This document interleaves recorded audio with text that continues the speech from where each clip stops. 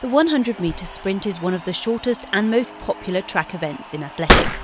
It takes just seconds to complete, but a good performance requires considerable training, strength, and power.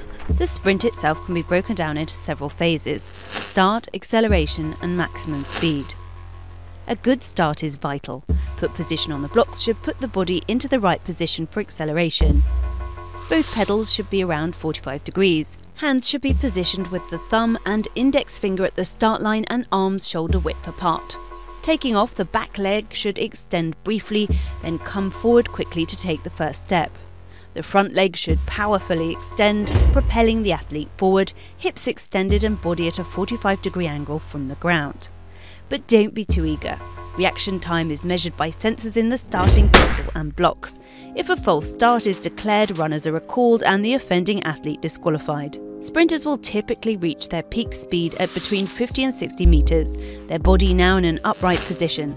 Top flight athletes can reach speeds of around 40 kilometres an hour. Six time Olympic gold medalist Jamaican Usain Bolt set the world record for the 100 metre sprint in 2009 with a lightning quick time of 9.58 seconds. The women's world record of 10.49 seconds was set by American Florence Griffith Joyner in 1988.